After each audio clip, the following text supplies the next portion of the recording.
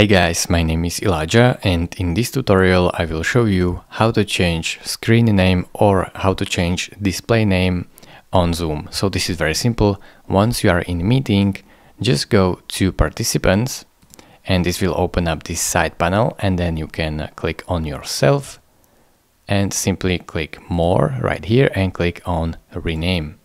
Here you can enter a new name here so just rename yourself to whatever you want and press rename.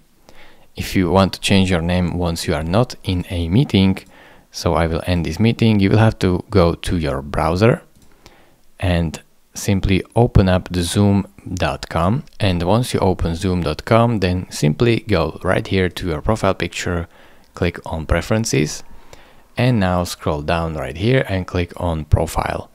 Here you can see your name and click on edit and edit your display name. Edit it, so change it to whatever you like and press save.